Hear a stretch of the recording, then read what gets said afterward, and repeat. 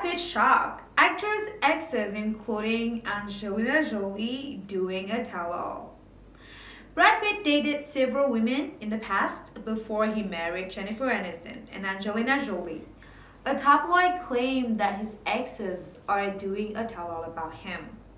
New Idea alleged that Brad Pitt's ex-girlfriends are working together to share some details about their relationship when they were still dating him. Check out what his exes said about him. Brad Pitt uh, with his exes. New Idea claimed that Brad Pitt's exes are doing a tell-all about their relationship with the Once Upon a Time in Hollywood star. Mm, it hinted that there would be some shocking revelations. The actor's former flames, led by his ex-wife, Angelina Jolie, are dishing the dirt, the tabloid reported. Angelina Jolie to Pitt the outlet also mentioned Brad Pitt and Angelina Jolie legal battle following their split in 2016. It even quoted the statement Jolie's lawyers allegedly made after Pitt gave his ex-wife $11.5 million loan to buy a new home. A loan is not.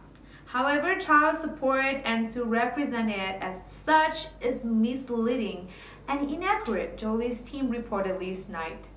However, it should be noted that Jolie and Pitt's relationship has since improved. They also agreed to have joint custody over their six children. In fact, the kids regularly see their dad. What Gwyneth Paltrow said about Pitt? Brad Pitt and Gwyneth Paltrow were also an item years ago. They even got engaged, but their relationship never prospered into marriage. However, the two among the hottest couples in the 1990s. I fell in love with him. He was gorgeous and so sweet, Paltrow recorded. She confessed that she was 20, 22 years old at the time. However, she still felt like a kid. I wasn't ready, and he was too good for me, she added. However, one should note that the Seven star made this statement during an interview with Howard Stern in 2015. It wasn't new at all. Pitt's exes praised him as a partner. Brad Pitt dated British singer Sinitta between 1986 and 1988. At the time, he had not landed his breakout role in Thelma and Louise yet.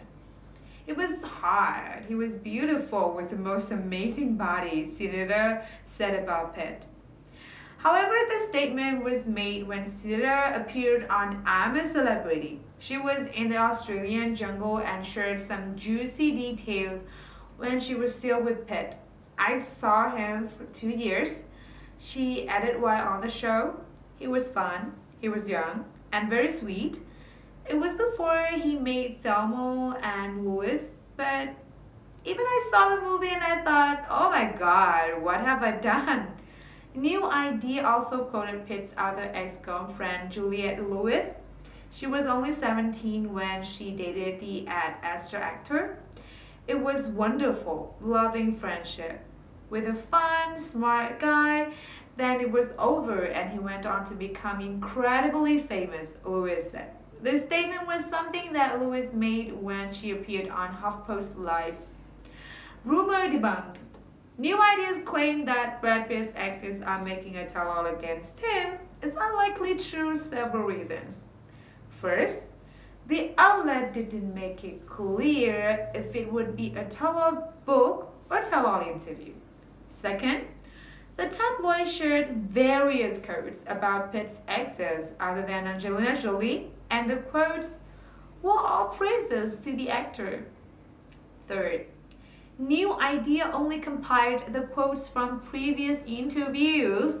There are also claims that Brad Pitt is doing a tell-all interview about Angelina Jolie. However, the claim was also not true.